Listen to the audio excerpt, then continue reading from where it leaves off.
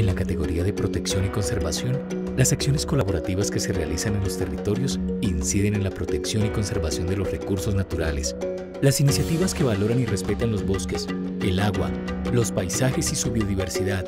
conservan, incrementan y diversifican los sistemas de producción, buenas prácticas que minimizan la contaminación ambiental y aumentan la capacidad de adaptación al cambio climático ayudan a crear territorios sostenibles. Estas prácticas incluyen restauración de áreas ecológicas, medidas para reducir la deforestación, servicios ecosistémicos, educación ambiental, declaratoria de áreas protegidas, acciones para minimizar el impacto ambiental y conservar suelos y aguas, gestión del conocimiento para empoderar a las comunidades en el desarrollo sostenible, cambios en modelos de producción, planificación de fincas sostenibles y estrategias de certificación. Quien siembra comida debe cosechar un mundo mejor.